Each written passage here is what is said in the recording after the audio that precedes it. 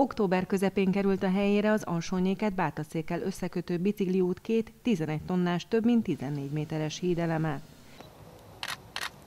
Ezek pedig már mostani felvételek, a városvezetők, a Tolna megyei önkormányzat elnöke és a kivitelező cég hivatalosan is átadta a bicikliutat.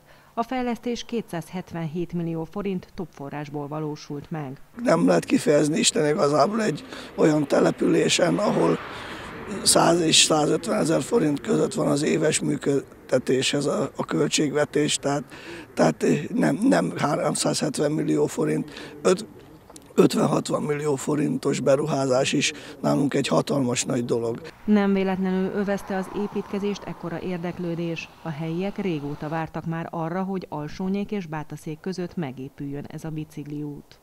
A két település nagyon-nagyon sok szálon kötődik össze, szinte már össze is nőtt, és ennek egy újabb állomása, hogy ez a kerékpárút ma átadásra került.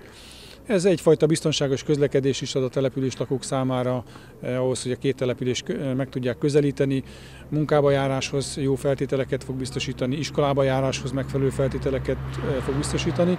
Sőt, én úgy gondolom, hogy egy, egyéb sportolási célra is eh, ki fogják használni majd a, a települések lakói.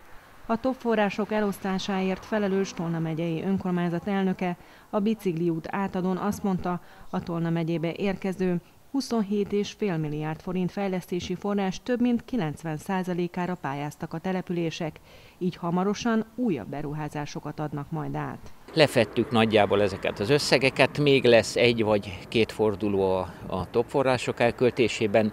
Ezt a kormányzat irányítja a az előzetes módhoz hasonlóan, ami azt jelenti, hogy még némi fejlesztés várható. A megépült bicikliút az Alsónyéki vasútállomástól a Bátaszéki Molkútig tart.